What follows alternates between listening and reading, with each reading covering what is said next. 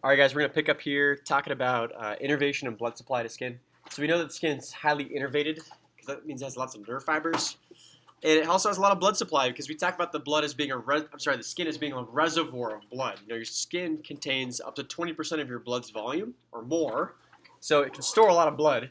Now, what happens is that we find a lot of nerve fibers in the dermis that can sense things like touch, pressure, temperature, pain, vibration, but they can also control the diameter of your blood vessels. And we'll talk. We'll come back to that too, guys. Now we have tactile or touch receptors, and we've talked about some already. Like there's the Meissner's corpuscles in the in the papillary layer of dermis. There's the Pacinian corpuscles that you find deep in the dermis. You got free nerve endings that kind of project up towards the epidermis. You got tactile cells or Merkel cells in the epidermis. So there's lots of different ways to feel with your skin. Now those nerve fibers can also help regulate blood flow because in many of your blood vessels, there's smooth muscle that's regulatable. Okay? So what happens is we can change the contracted state of smooth muscle in our vessels to either vasodilate or vasoconstrict. If we vasodilate by, by actually not stimulating muscle to contract, the muscle will relax, allows the vessel to get wider, and then you can increase blood flow, right? So you have vasodilation, a wider blood vessel, blood flow increases. Vasoconstriction leads to uh, basically, well, we have a strong muscle contraction that causes the vessel to constrict. That reduces blood flow to skin. Now, um, there's also some nerve endings that can control glandular secretions, like there's nerve endings that stimulate sweat glands to start. Okay. Um, oil glands, on the other hand, oil glands are regulated by hormones. So, oil activity, bless you, is a is a hormone effect. So, uh, we know that, that our skin has lots of blood vessels. So our dermis contains these blood vessels that can actually change their their state, like their size. So uh, if a blood vessel vasodilates, then you have an increase in blood flow. And if it vasoconstricts, then you have a decrease in blood flow, right? So under what circumstances might you want to have an increase in blood flow in skin? You're hot. Yeah, if you're hot, right? That way you can actually dissipate that heat and cool down, right? So what about vasoconstriction? When might you want to vasoconstrict blood away from skin? If you're cold, right? Because if you're cold, you want to conserve your body heat and not have heat dissipate from your skin, so you can vasoconstrict, re- reduce blood flow to skin. That way, the blood actually goes to deeper organs, and you stay warmer, right? So if you're cold, you can vasoconstrict. If you're hot, you can vasodilate. And there's other things that can cause vasoconstriction, vasodilation, but we'll talk about that in A&P 2. Now, we talked about how there's a subcutaneous layer, hypoder- hypodermis, and that's not actually part of skin but it does have areolar uh, connective tissue and adipose as well. And some of the functions of the hypodermis are to protect underlying structures. You know, skin's not that thick. I mean, it's thick enough to serve as a pretty decent protective barrier, but skin itself is not a good cushion. So it's the hypodermis below skin that serves as a nice protective cushion because it's full of adipose, right? Think about like where there are bony prominences, like a bony part um, in your body where there might be some skin there too. If there's just skin right on bone, then there's not a whole lot of cushion between the bone and skin, and that can start to wear on each other, and that can lead to wounds and sores, right?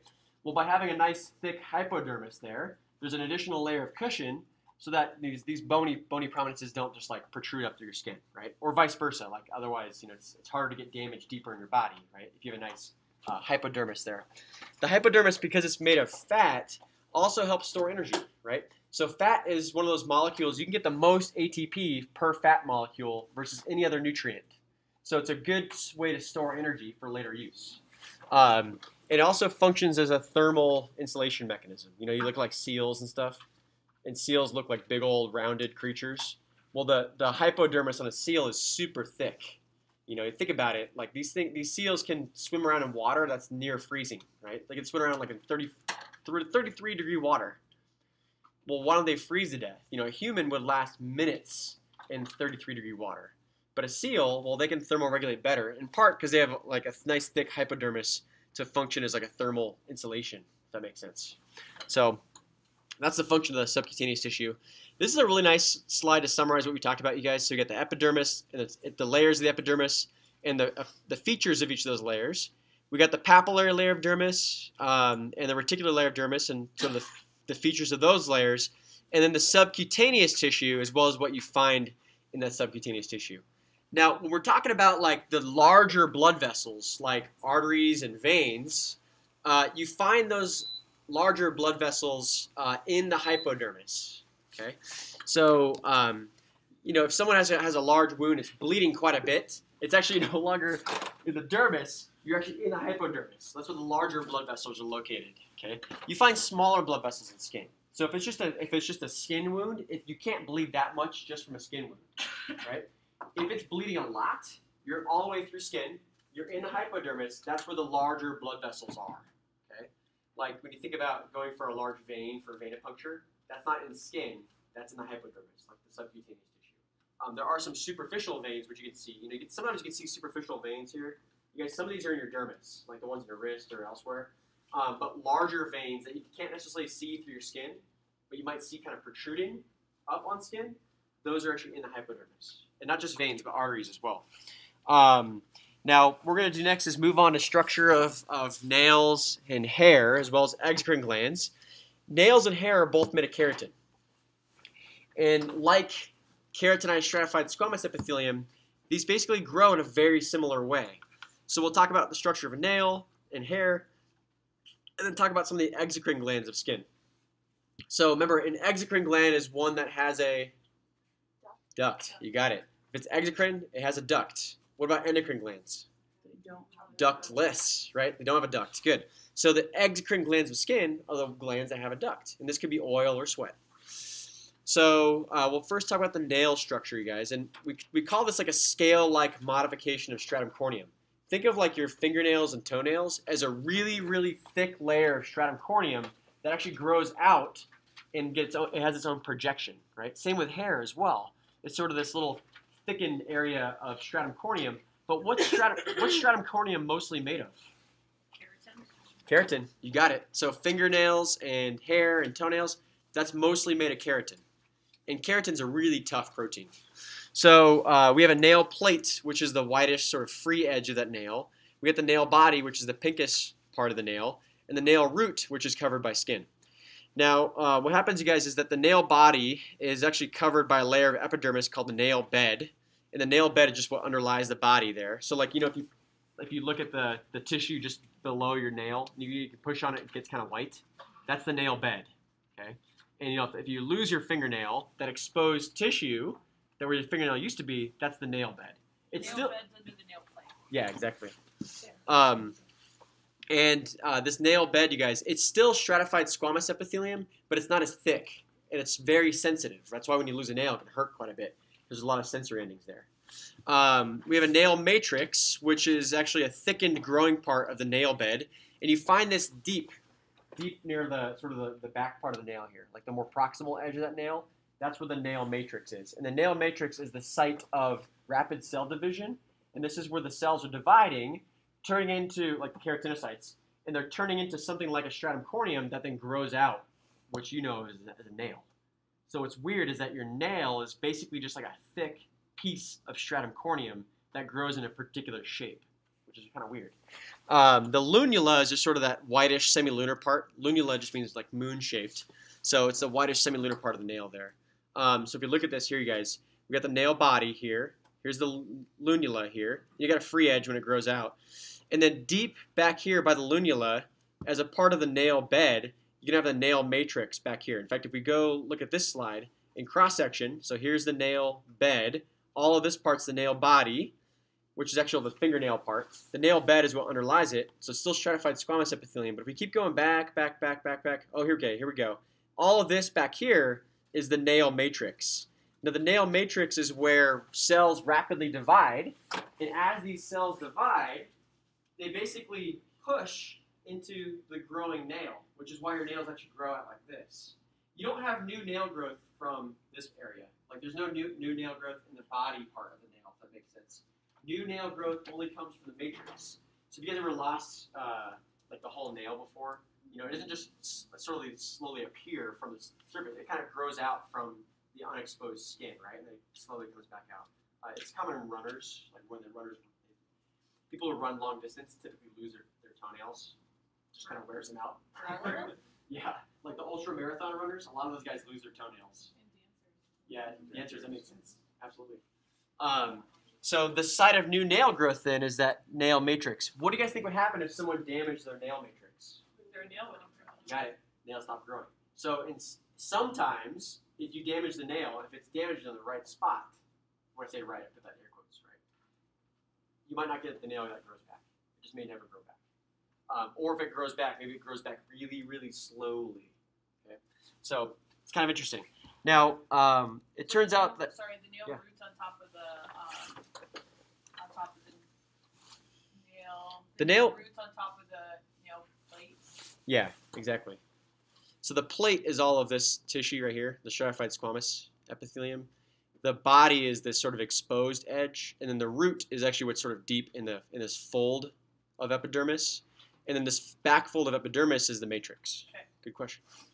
So for hair, you guys, um, they're columns of keratinocytes, but these keratinocytes lack any organelles or a nucleus. So basically, like a nail, hair is just a big old shaft of keratin. Now, our hair has, um, you know, different parts like a bulb, a root, and a shaft. And there's different types of hair, like lanugo, vellus, and terminal hair. Uh, terminal hair is like the thick, coarse kind of hair. Vellus hair is like the pe- peach fuzz. Okay. Um, and I'm not sure what lanugo is. I got, I got. I need to look that It up. says it's until like the second trimester. Oh, okay. It starts forming, and then the it goes away once the baby. That makes sense. Yeah, because I'm not like a. I don't know a lot about development. That makes sense. So this is sort of a, a type of hair you'd find on like prenatally, Yeah. but it disappears after birth. Mhm. Yeah. So uh, the regions of hair, you guys, like the bulb, the root, and shaft. The bulb is guess what? Just the bulbous part. The root is everything that's in the dermis, and the shaft is actually basically the exposed part of that hair. Okay. So uh, the bulb is that swelling of epithelial cells where the hair originates. The root is uh, basically the portion of that's that's deep to the skin surface, and the shaft is what extends beyond the, the skin surface. So the exposed part of hair is the shaft. Okay. Um, the hair follicle is what surrounds each hair, and every hair follicle is associated with an arrector pili. What was the function of arrector pili again? Goosebumps. You got it. Or I don't know. Parts of the country call them goose pimples, and there's other words too that I'm not familiar with. Goose pimples. I know. Never heard that. Yeah, I- yeah. heard of that. Apparently that's a thing too. I know. Actually, there's a really interesting quiz, you guys. You can take it online. It's a linguistics quiz, and I've taken this a couple times, just kind of figure. It'll ask you like in a series of 25 questions, like what you call certain things. It'll give you an op- series of words you can choose, and in 25 questions, it can tell you within reasonable accuracy where your dialect is from in the United States.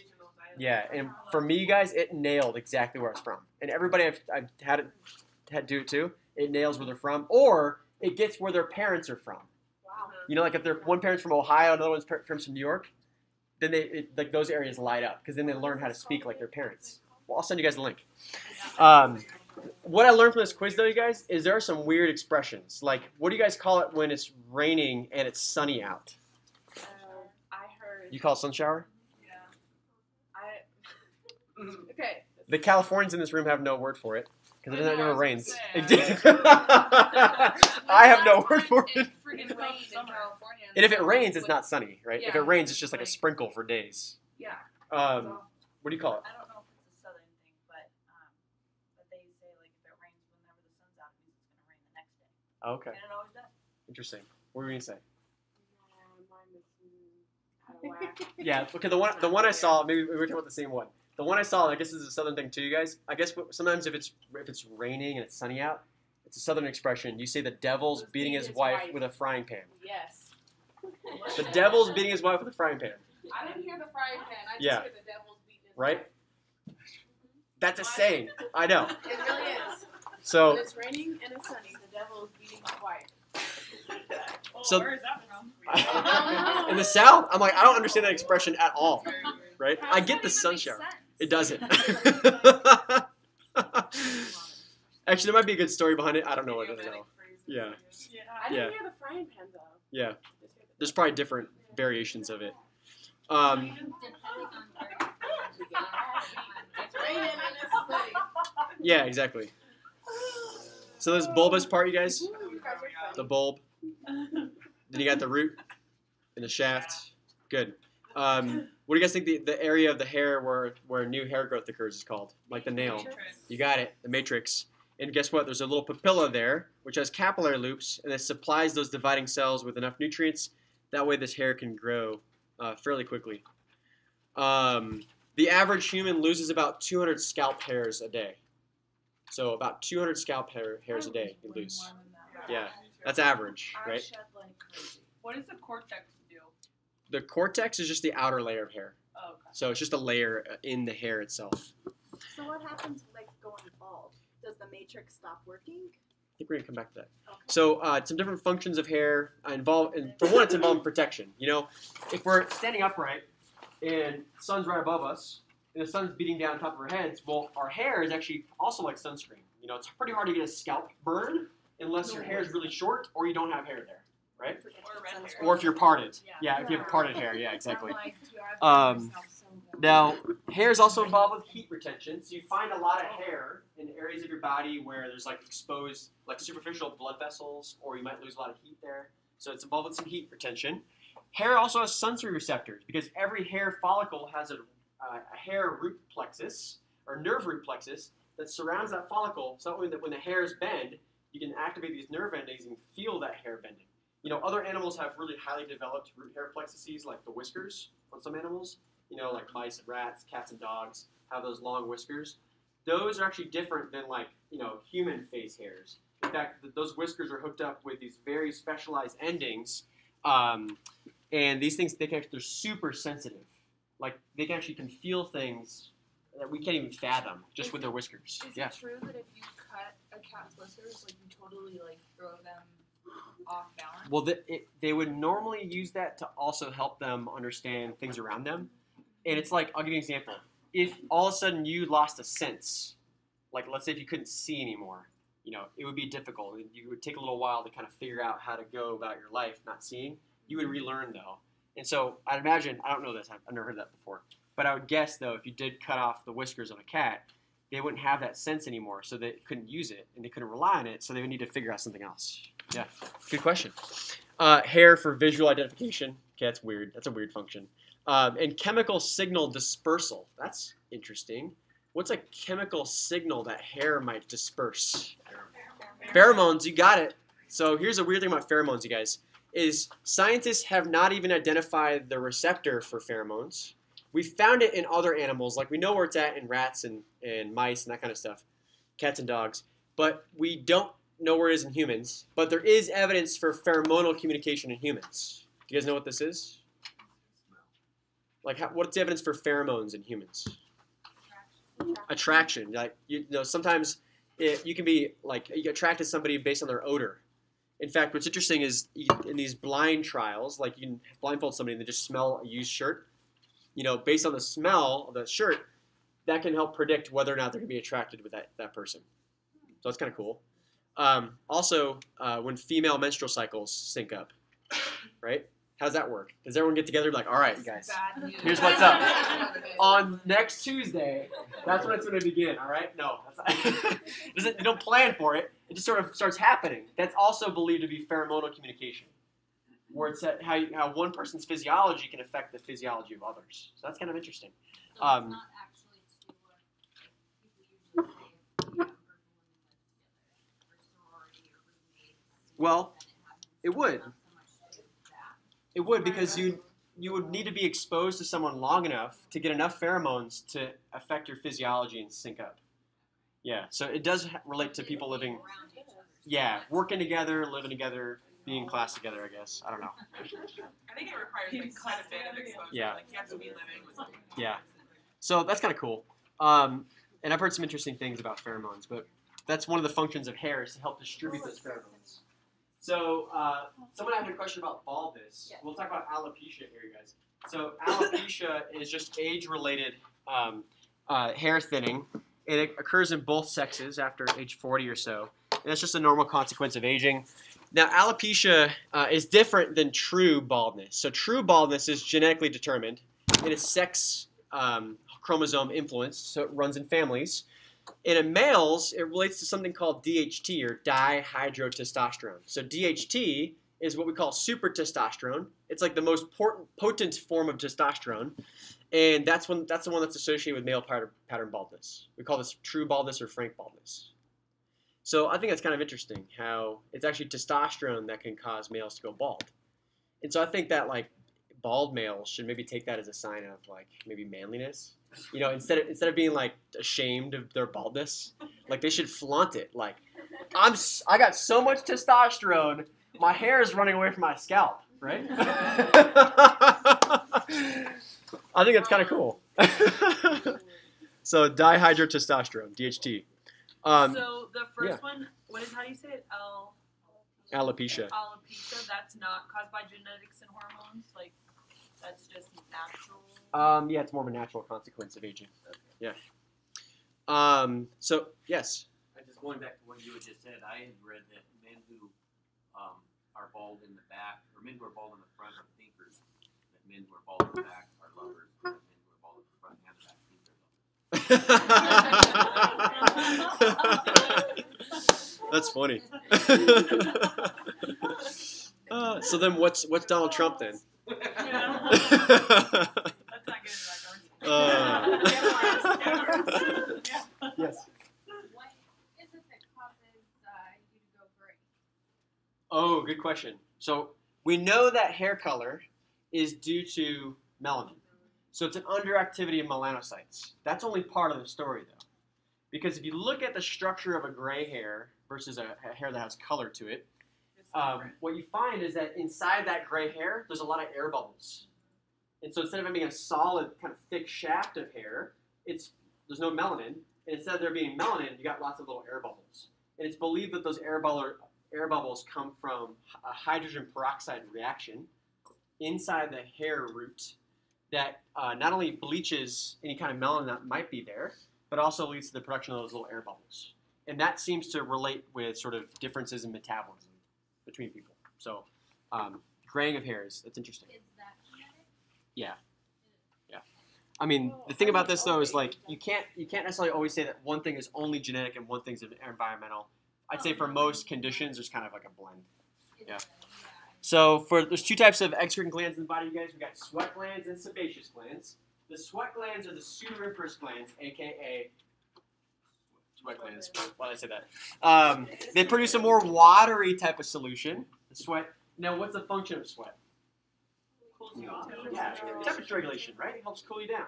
So there's two, actually two types of sudoriferous glands. You guys You got merocrine and apocrine sweat glands. So there's the merocrine sweat gland, which is actually more associated with like the watery, salty type of sweat that you guys are familiar with. Apocrine sweat glands are a type of sweat gland that makes a more oily type of sweat. And you only find apocrine sweat glands in the inguinal region, the axillary region, and periareolar.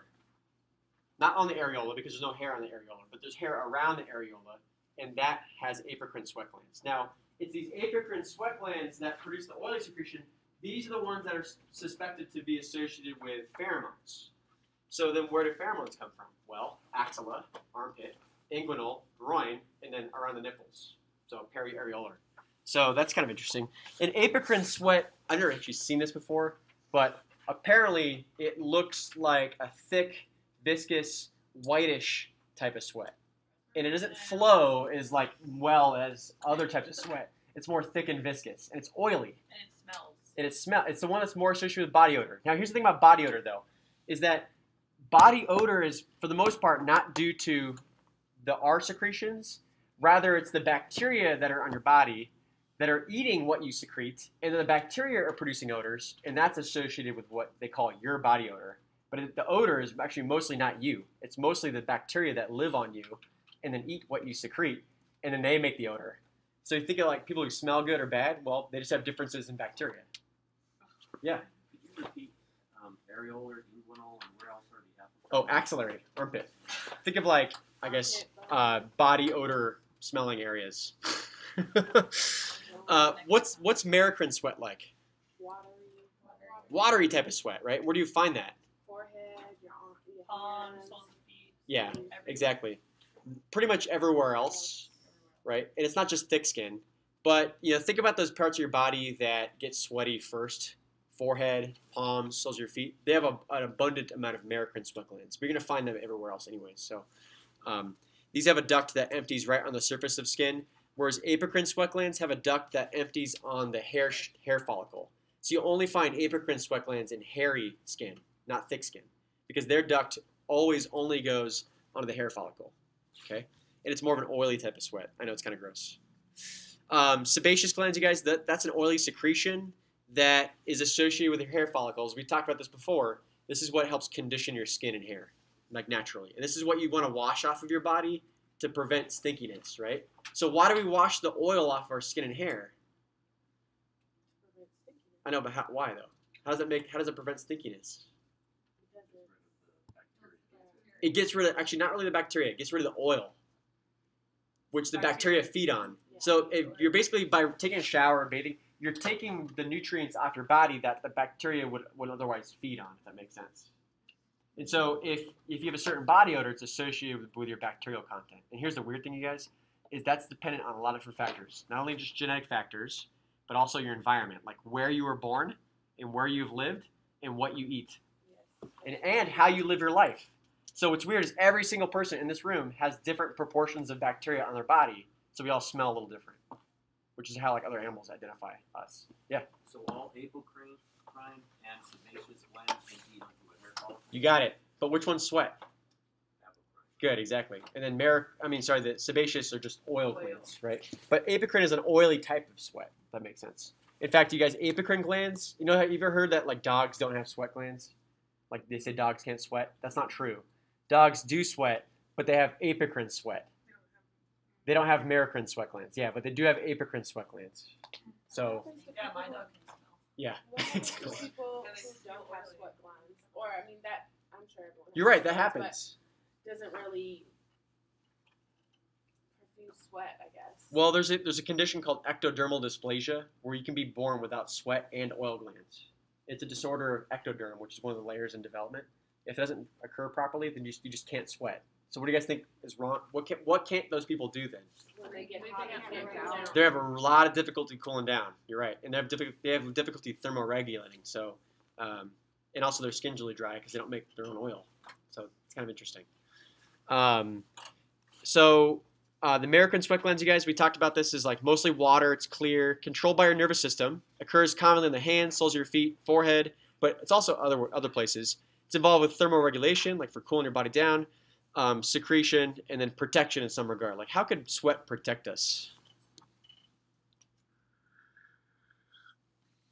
You guys know this one? Um, no, I didn't write down. That's okay. Um, there are immune elements in sweat. Like there are things your immune system can put in sweat that can help target bacteria and viruses on the surface of your body.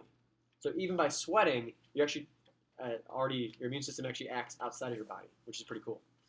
Uh, we'll get to that later. I don't want, I don't want to talk about it. It's too confusing, but we'll come back to that later. now, apocrine sweat glands are the oily type of sweat that's associated with body odor, right? Where do you find apocrine sweat glands again? Armpit, groin. Oh yeah, uh, yeah, and around the anus, exactly. So and around the nipples. So axilla, areola, pubic region, and anal region. the secretion is thick, cloudy, composed of proteins and lipids, and bacterial growth causes a distinct odor. You know it's funny? I've noticed in me, you guys, is when I eat junk, I smell bad. If I eat good food, I don't smell as bad. Yeah. Have you guys noticed that with you? Yeah, like if I if I go out and just like maybe eat I don't know pizza and just crappy food, like I'll smell bad for some time later. But if I just eat vegetables and fruit and stuff, like I don't smell, which is weird. In fact, I'll probably smell like the spices that I put in that food. So it's kind of interesting. That's really that's true garlic. Yeah. So You eat a lot of garlic. yeah, and you smell like garlic. I know. I think I probably do. so I love garlic. um, so sebaceous glands, you guys, uh, they make sebum. Remember, sebum is that oily secretion. It's not sweat, but it's basically uh, it's a type of secretion that's associated with every hair follicle, and it's a natural conditioner for your skin and hair. Um, this is controlled not by nervous system stimulation, but hormones. And so these sebaceous glands are become most active right around puberty because sex hormones influence sebaceous gland activity. This is why teenagers start getting really oily around puberty, whereas like you know uh, prepubescent children aren't as oily or have as many pimples because they don't have as much sebum, right? Well, if if the sebum is mostly oil, And oil is what bacteria feed on. This is why teenagers are more prone to pimples because they secrete so much oil that they're more likely to get those bacterial infections in their sebaceous glands, which is what a pimple is. So uh, it's relatively inactive during childhood, but but sex hormones that kind of start surging during puberty uh, influence sebaceous gland activity. So it's kind of interesting. And it continues out throughout adulthood as well, just not as much. If that makes sense. This is why like adults have less pimples typically than teenagers because we still secrete sebum, but not as much. However, your sebaceous gland activity decreases as you get older. So what does this mean like for the elderly if they don't secrete as much oil? They don't get pimples. Dry skin, right? Dry, cracked skin, and their skin's already thin, which means it's more prone to like cracks that can go deep and possibly bleed, right? So it's it's important to make sure that like an elderly like they, what's that? Old people have to brush. Yeah, they do. Um, and uh, it's important to note that you know, like an elderly, you want to make sure that they have enough lotion, and that kind of stuff. So, um, now what these glands look like? Well, if there's one that's like right on the hair follicle, what do you guys think that is? Sebaceous gland. If it's right on the hair follicle, it's, a, it's actually a sebaceous gland. So this one here is the sebaceous gland. Okay. What about if it has a duct that empties on the, right on the surface of skin, but isn't associated with hair? Merocrine. Good. So merocrine sweat gland. And what type of sweat is merocrine sweat? Watery, salty type of sweat. Very good. And then this this one over here, where there's a, there's a duct that empties in the, the shaft of this hair. Apocrine sweat. And then what type of sweat's that? It's cloudy, protein and lipid rich sweat. Now, what's important to note, you guys, is that it's not this sweat that stinks. It's the bacteria that feed on the sweat that actually make the odor. So, and you can change the type of bacteria that are in your body. Like that's not constant. So it's kind of interesting. Um, now, so we talk about apocrine and merocrine sweat. So what are the major differences between the two? One secretes, um, watery. Which is make Merocrine. Good. And then epicrine, uh, secretes, uh, like the cloudy lipid.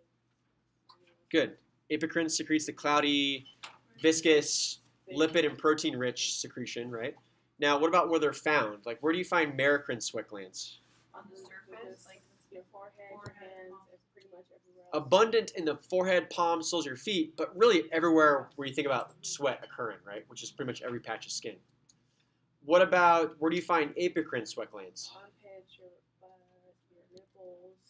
Good. Your Armpits, the perianal, periareolar, so around the nipples, and the inguinal area. Good. So just I suppose think of nether regions, right? Right. That's all the apocrine regions. Yeah. Does the sebaceous gland not have a duct? You know, it does, but the, the duct isn't like going really far away. The duct just empties straight onto the shaft of that hair. And then I'm sorry, then going back again, what is it? What kind of a gland has a duct? What are, what are those called? Exocrine. And these are all ex- exocrine glands. So uh, that's a great question. But the sebaceous gland just doesn't have a very long duct. There's a duct, but it's not long. You can't really see it there. Um, other types of glands, you guys, we got ceruminous glands and mammary glands. Uh, the ceruminous glands are the ones that make earwax or cerumen, and that's a modified type of sebaceous, sebaceous gland. So cerumen or earwax is like basically like a thicker type of sebum. What's the point? Why even have earwax? Why not just not make it at all? Yeah, protection, right? Like debris can get trapped by the earwax before it goes deeper, right? What about wax? Does it does it mix well with water? No, so it also repels water, which would make sense. You don't want you don't have water that get trapped in your ear. So the cerumen also can repel water, so it's interesting. But you're right, it is involved with protection. You gotta be careful with like Q-tips though. People make the common mistake of like pushing the Q-tip in, not only too far, but also pushing earwax in with it. You're not supposed to stick Q-tips. You're not you're not really supposed to use them, yeah. So, um, I mean, the alternative is that you just make so much earwax it just starts falling off, right? But what you don't want to do is push earwax deep into the ear canal because then you get a ceruminous impaction. If you guys are interested, go to YouTube and type in cerumen extraction. Uh, those videos are weird, but also surprisingly like satisfying to watch. Just watch like when they take this big, it looks like a big old ice cream scoop, and they scoop out big globs of like this solid earwax substance. What's that? Yeah, bugs can get in there too sometimes. Uh, how about mammary glands? Where do you find those? Yeah, breasts. And in fact, mammary glands is a modified merocrine gland. So it's a modified sweat gland. So when you think about breast milk, it's actually modified sweat. So it's kind of weird. Did I tell you guys that already? But I also told you that it was actually like the entire cell that bursts open. So, Yeah. so it's kind of interesting. Oh, I'm sorry. Uh, did I say merocrine? It's modified apocrine sweat. Yeah, because apocrine is where the cells burst open. So uh, that's um, an interesting thing, something to consider. now, uh, skin cancer, you guys, is basically where these cells have the ability to metastasize. Now, if it's a, if it's a skin tumor, we call it benign, which is not cancerous. It means if it's a benign tumor, it's not invading any nearby tissues. It's just kind of growing as its own separate sort of uh, sac of tissue. Okay. Now, if it metastasizes, we, that's when we call that cancerous. And metastases are when cells can break free, spread to other parts of your body, and start dividing in those other body areas. Right. Now, this is a, this is important because not only is Colorado one of, have one of the highest rates of skin cancer, melanoma is one of the most deadly forms of cancer. Now, it's deadly because these melanocytes can replicate really quickly, but they can also spread to other parts of your body. You know, what if you had a melanocyte make it to your brain tissue and start dividing in your brain tissue? Then you get this big old mass of, of melanocytes now expanding in your cranium.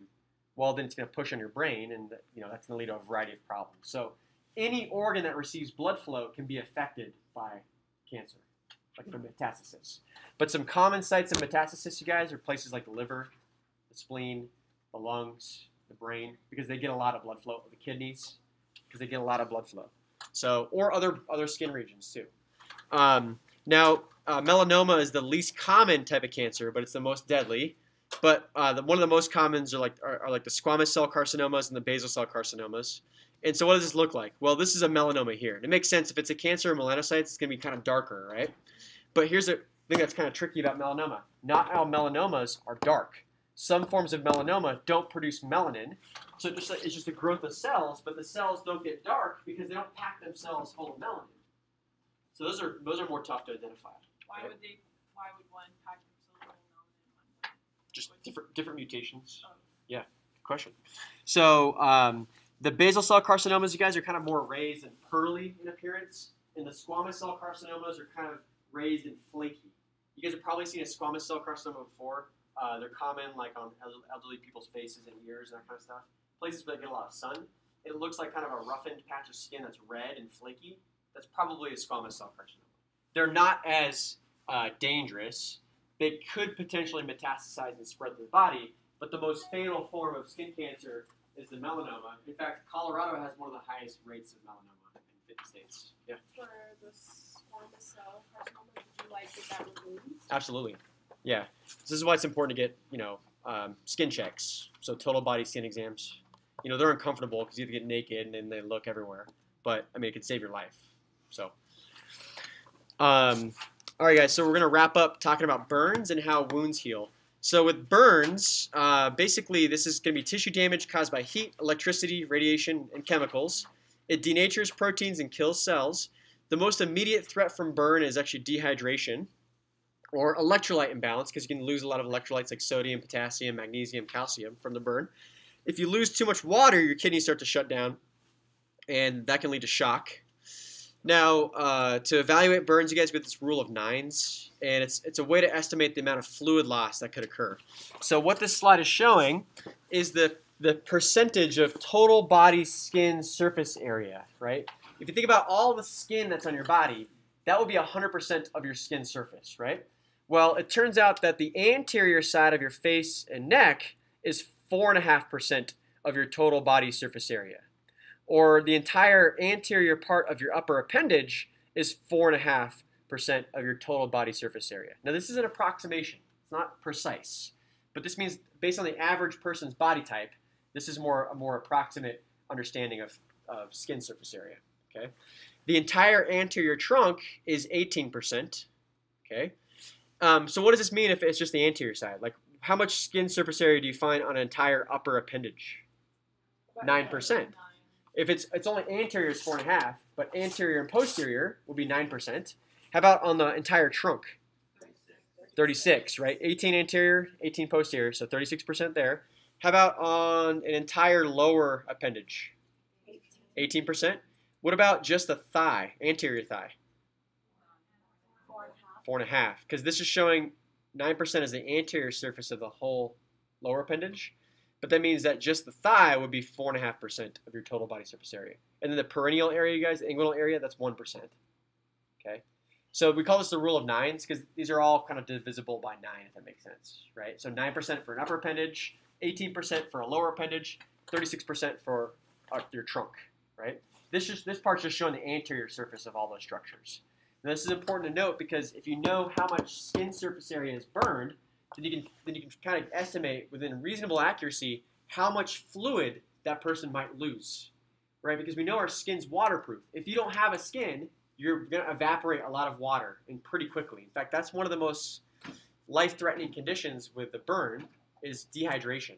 And who would have thought? You would think infection, right? Yeah, infections is you know something to consider too. But the most immediate threat is dehydration because without a skin, water just starts evaporating from your body, right? So um, if you know how much skin surface area is affected, then you can know how much fluid to give them. Now, uh, there's different types of burns. We got first, second, and third degree burns. For a first degree burn, it's epidermal damage only. So an example of a first degree burn is one that's red. You might get some swelling and some pain, right? Can you guys think of an example of first degree burn? Yeah, a mild sunburn, right? A very mild sunburn. Like you're obviously kind of burned, it's kind of red, a little inflamed and painful, but doesn't blister. Okay? A second degree burn is going to be where you have epidermal and some dermal damage, and this is more likely to bleed and blister. Have you guys ever had a sunburn that blisters? Then that's a second degree burn. So you've been second degree burned by the sun, right? So if you've ever blistered from the sun, that's second degree because now you're affecting the dermis. And do you find do you find blood vessels in the epidermis? No. No. So the epidermis won't just blister without damage to the underlying dermis. So with a second degree burn, you're more likely to see blisters that appear. But second degree burns are also painful because it's not deep enough to have damaged all of the nerve fibers in that tissue. Okay? That differs from a third degree burn because this is a full thickness burn. Third degree is the entire thickness of the skin. So through the epidermis and through the dermis, the burn goes all the way deep. This is less likely to be painful because you could singe those nerve fibers. If there's no nerve endings less left, then it won't you won't feel pain, right? So if you're in a burn that's deep and it's not painful, it's probably a third degree burn. Have you guys ever had that one before? Yeah. I You- haven't, but I sometimes when I have to float to the burn unit Yeah. um, at my job, and people are like literally burned from like head to toe, Oh wow. and like complete third degree burns and Like self immolation or accidents? accidents Yeah. sometimes, most of the time I would say, and Yeah, that's that's scary. yeah, it, it's, Um, Yeah, right. I'll tell you what, I got an example for it. I uh, when I was like 14, I crashed a motorcycle and I burned my I burned my, my calf on the muffler. The muffler was really hot, so I fell over this way, but my leg was resting on the muffler. It burned through my jeans and got my calf. I didn't even know I had a burn until I got home, took a shower, looked down at my leg, and saw there was a huge burn on my calf, and it was it was ghost white, like there was no blood because the blood even the blood vessels were singed. So it's kind of had like a whitish, dry type of consistency to it because the blood vessels were singed too. I didn't feel it because the nerve endings were also singed. That took about four months to grow back, and I was on crutches because I couldn't even walk. I think it actually got down to some muscle too. I couldn't walk on that leg, so it's kind of interesting. Um, but it's not painful because the destroyed. Skin grafting can be necessary. I didn't get a skin graft. I don't know why, but they just let me let it heal for four months. You know, that's a long time. I'm not exaggerating, guys. Four months. It's like the entirety of my like junior year of well, like uh, the spring semester of my junior year in high school, something like that. Um, so, you have a question? When you mentioned skin grafting, right? Has anyone seen like that Mike six hundred pound Mike or whatever? And they remove all that extra skin. Yeah. I guess they'll use their extra skin for people. Oh, that's cool. victims. Yeah. That's awesome. that. I didn't know that. I thought that was That is really neat. Yeah. So it's- we'll talk about some uh, tissue grafting and stuff later. It's like the But that's a, that's a great point. What do you do with all that extra skin? Well, you just donate it to somebody else. You have to be a good match, but you know, there's a lot of skin, especially if you lose a lot of weight. So it's interesting. Um, it has a kind of a grayish white appearance, you guys. It's gray and white because that's what the protein fibers look like. Okay. Yes. Um, well, back to what she said, I was wondering, can your body reject a skin graft from somebody else? Absolutely. Yeah. Absolutely. That's why you have to be a good match. If you're not a good cross match, then the graft won't take. And we'll, we'll, we'll talk more about that in, in uh, pathophysiology. So uh, this is a first degree burn, you guys. If it's first degree, what layer is affected? Just the epidermis. Just the epidermis. Good. And if it's second degree, what layer is affected? The. And the and the dermis. But is it the full thickness of the dermis? Just No. Just partial thickness. Good. Just the upper parts of the dermis, like papillary layer, maybe a little bit of the reticular layer, but not all the way through the dermis. And uh, how, how can you differentiate first from second degree burn? Second Blisters. blisters. Good. Second degree blisters. First, And um, then just redness. The second may also have some bleeding. Second could bleed, right? Is it painful? Yes. Yes. Is first painful? Yes. Does first degree burn blister? No. No, exactly. Good.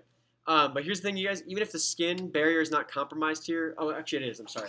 A first degree burn, you can still lose a lot of water through that because I know it doesn't look like there's like exposed wounds or nothing, anything like that. But within that burn, there's little micro tears, so you can still lose a significant amount of water even through through a first degree burn. Okay, like you don't have to have a, like a, have like an open sore. If that makes sense. So it still affects the skin barrier, and you're, you're still prone to infection. If that makes sense.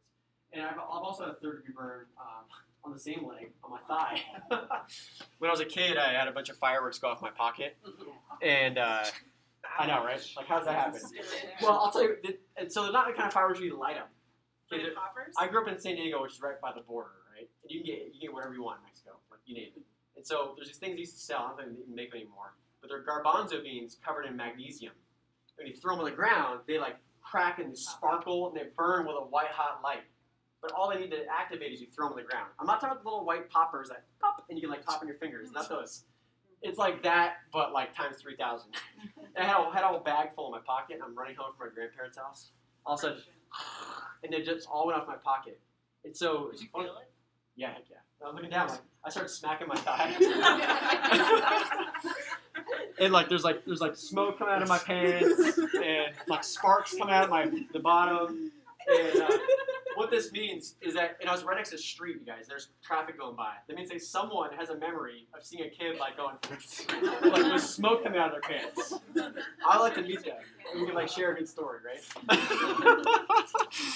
uh, they didn't stop though. If they did see it, no one stopped to make sure it was okay. I try to hide it from my parents.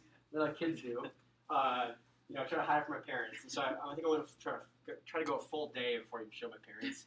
And, and we had some guests in the house at the time, so I showed one of the guests. What do you think? And they were so scared, like they went and told my parents like right away. And uh, um, yeah, it's pretty bad. They suspected uh, child abuse though first. You know, when kids show up with large wounds, they, they suspect child abuse. That unfortunately, it's that common. So I remember, I remember uh, they were like, threatening to call uh, child protective services on my dad when took me to the hospital. Yeah, it's crazy. But uh, that, that one was a little painful. There were aspects that, that were third degree burns too. Now, what, what's interesting though, you guys, when the when the, the tissue heals back, sometimes it heals back in odd ways, and you're prone to things like strictures, which are parts of skin that aren't really as flexible, or you're prone to uh, a lot of itching. So for me, I still got some strictures on my thigh here, like the skin's kind of tight, so it doesn't move as well, and then it gets more itchy. So sometimes, and even though it's happened like almost 20 years ago, like I still get itchiness in my thigh there. So it's interesting. Um, now, what about wound repair? So we're gonna wrap up this chapter with wound repair. So let's say if you get a big old cut or wound right here, um, and there might be a good story behind this one, right? Like how do you get a slash on your forehead? uh, so um, you know, you got a big old wound. It goes through the epidermis now into the dermis. If it's in the dermis, it's gonna bleed. The, those blood vessels are ruptured. Blood starts to fill that wound, right? And it so then you start to get a blood clot that forms. Now, part of this immune response, you guys, is that mast cells get activated. They release histamine, which is an inflammatory molecule, stimulates an inflammatory immune response, which increases blood flow to that site of injury. But it also brings in more immune cells. So, the second step in wound repair is we have macrophages come in and start to break down any kind of debris or, or dead tissue in the wound. Fibroblasts come in, they start laying down new fiber, right? Because fibroblasts are the stem cell for connective tissue proper. And because the dermis is made of CT proper, the fibroblasts can come in and start to make new connective tissue there. Okay. Now, uh, the epithelium also kind of grows inward and starts to fill in these edges. And these fibroblasts start to put down more collagen, elastic fibers, more, more ground substance, and replace this, um, you know, this connective tissue. Now, you're still going to get a scab here that's up top, But what's interesting though is that the scab will persist even though the epithelium has grown beneath it. And as this um, connective tissue gets replaced, eventually this scab gets pushed up and off. So when the scab falls off, it's basically when there's enough connective tissue to uh, force this up, and then it falls off eventually, right? But if you, have you guys ever lost a scab and you look beneath it, it won't bleed, but the tissue's really tender. Yeah. Right? Is what I'm talking about. That's this sort sort of circumstance. Like if you if that's ever happened to you, you've had the circumstance where it's like it hasn't totally healed back yet. There's still an epithelium. The scab falls off, but this epithelium is thin, and that's why it's very sensitive and, and kind of delicate. It doesn't bleed necessarily, but um, you know it's more sensitive because the epithelium's so thin there. Um, and last step, you guys, we, we get the scar tissue that forms, and the scar tissue is remodeled for years and decades post wound. In fact, um, you know, like I said, my wife works in dermatology. Apparently, you don't even really know what a scar is going to look like until it's been about a year. Like if someone's worried about a scar and it's only been three months, uh, it's hard to say what that's going to look like in the long term until about a year later, because it takes that long for the scar to form, right? In its truest form. Otherwise, uh, you can get a lot of like post erythema, like a lot of redness on that wound in the scar, even though the wound's been like three or four months prior. So it won't be until like at least a year you can know what the scar might look like in the long term. Okay. there like ways to get rid of scars? Yeah, there are. Yeah, it's interesting. Lasers and chemical peels, that kind of stuff. Um, now, some scars can be more raised. Like if the connective tissue uh, forms too heavily, you can get a keloid scar, and a keloid scar is basically just like a big old raised scar. Okay, they're more, I guess, sort of aesthetically unappealing because it's so it's much different from the surrounding tissue and it's more raised. Um, and that's just an example of a keloid scar.